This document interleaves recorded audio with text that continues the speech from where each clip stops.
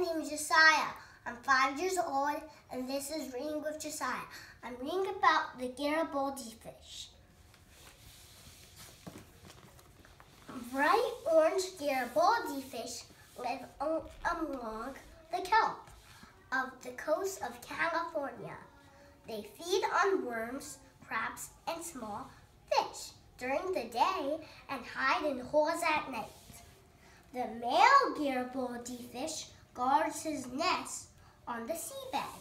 Garibaldi fish live in a group until they become adults. Some young Garibaldi fish have blue spots. The male Garibaldi builds a seaweed nest on the seabed.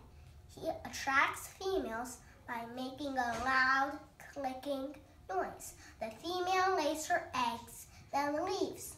The male guards the eggs after they hatch. He attacks any creature that comes too close. See you next time.